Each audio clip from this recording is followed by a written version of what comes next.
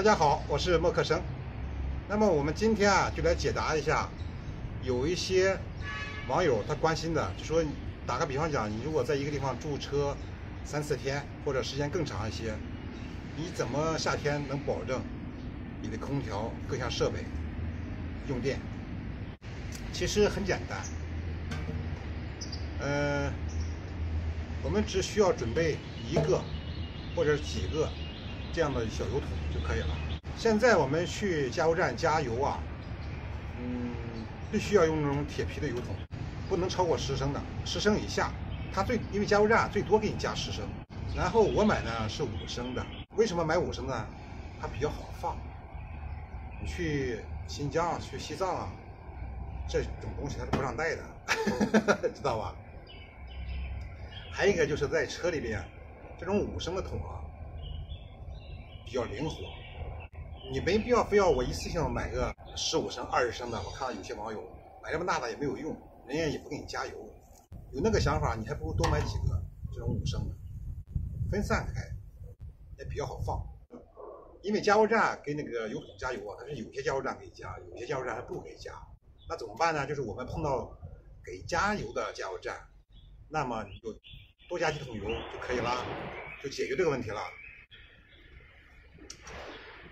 再一个呢，就是说，我一般呢，如果相中了一个驻车的地方啊，我会提前把我的这个车加满油。我有个抽油神器，在车是满油的状态下，可以抽出些汽油来，所以说我也不需要那么多油桶。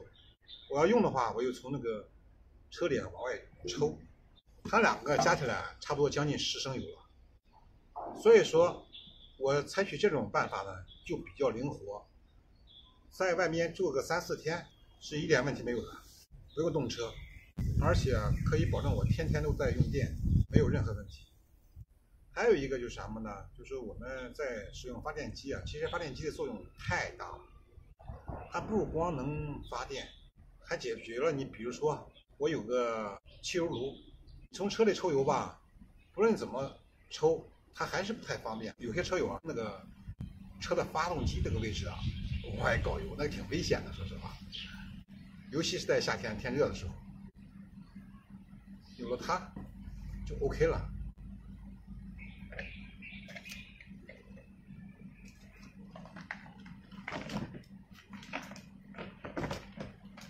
因为啊，这个发电机它可以放油。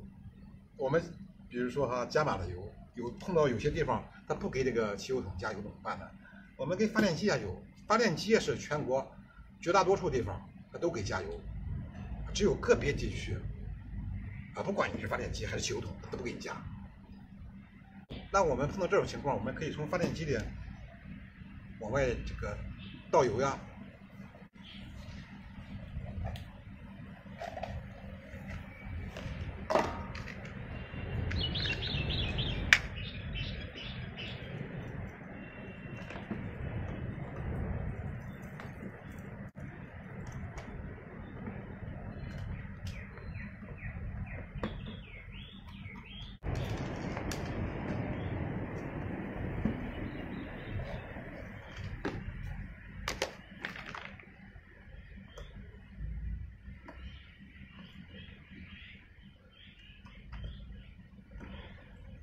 喏，大家看到没有？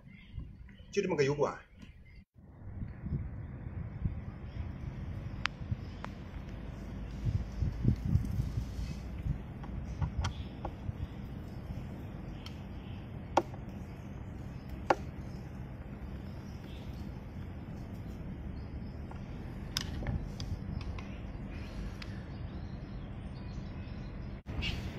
OK 了，演示完了。